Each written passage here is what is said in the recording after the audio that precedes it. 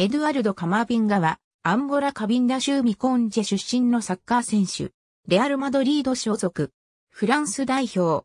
ポジションはミッドフィールダー。2013年にスタッドレンヌに入団。2018から19シーズンに B チームに昇格。B チームで13試合4ゴールを決め、同シーズン終盤にトップチームに昇格。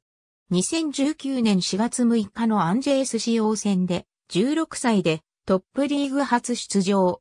以降先発に定着し、リーグアン1年目で7試合に出場。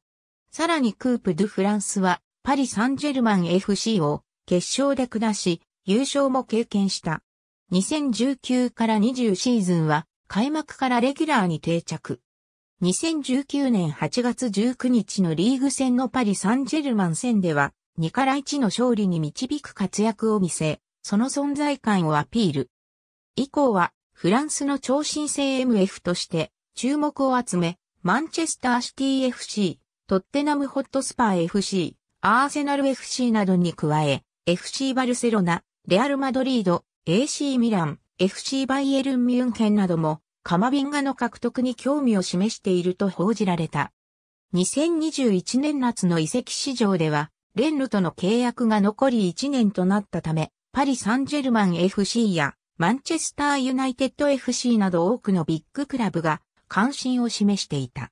しかし、移籍市場最終日の8月31日に、レアル・マドリードと6年契約を締結したことが発表された。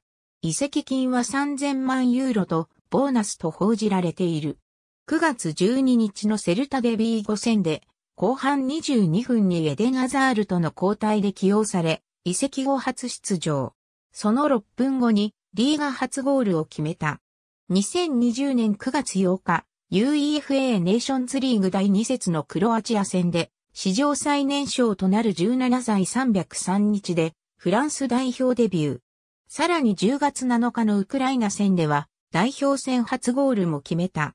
2021年6月25日、東京オリンピックに出場する U-24 フランス代表に選出された。しかし、所属クラブが招集を拒否したため、7月2日に代表メンバーから外れたことが発表された。国際 A マッチ3試合1得点。ありがとうございます。